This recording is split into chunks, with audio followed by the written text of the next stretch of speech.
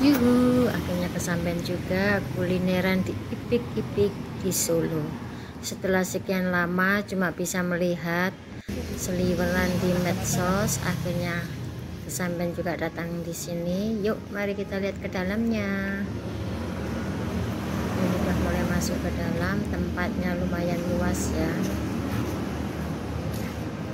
Nah ini karena masih suasana Natal, jadi ini desain-desain Natal kita intip apa aja nih masakannya ini pertama ini ada semacam oleh-oleh ya. Ada aneka kerupuk keripik jajanan atau ada souvenir minuman. Nah ini masih perkerupuan aneka macam perkerupuan dan perkeripian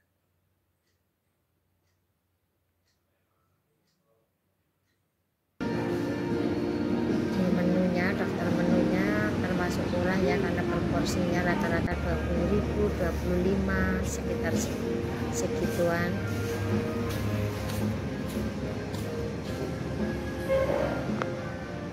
Masih perkelipian dan perkerupuan ini suasananya seperti ini. Luas banget dalamnya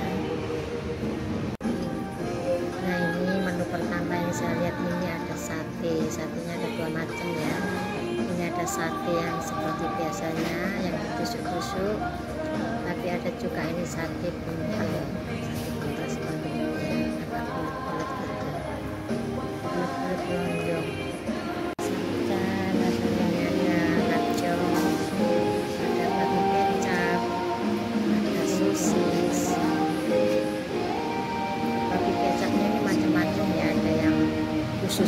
kaki ada khusus daging ada kayak krengsengan satu krengsengan babi ya tentunya. Ini masih perkecapan ada ini tulang-tulang. Ini ada ikan ada tahu isi ada siomay ada bakso goreng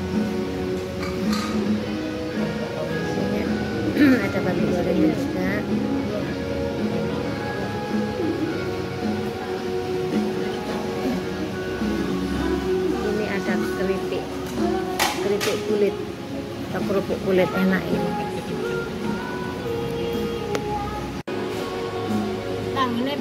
Nah ini saya pesan tapi saya tidak makan di tempat. Semuanya saya bawa pulang karena saya memburu waktu ya harus sudah sampai di rumah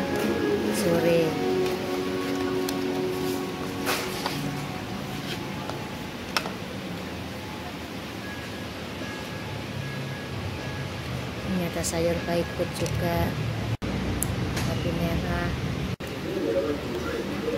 Ini kuahnya ya. Pokoknya semuanya enak di sini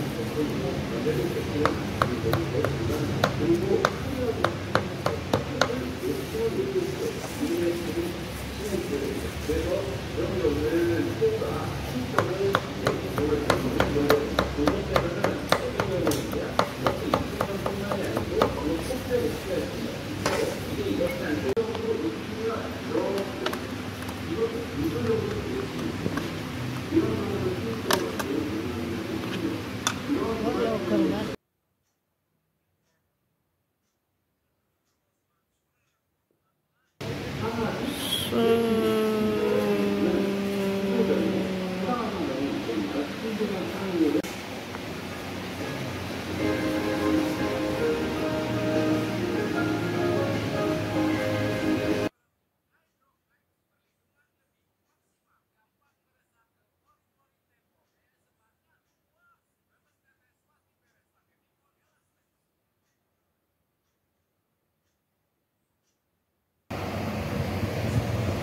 akhirnya saya pulang.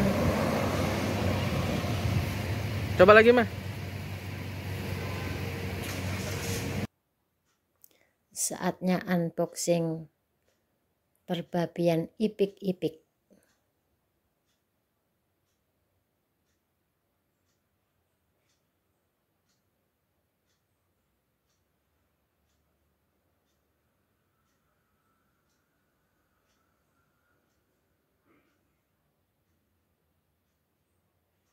Nah ini dia hasil perburuan kita dari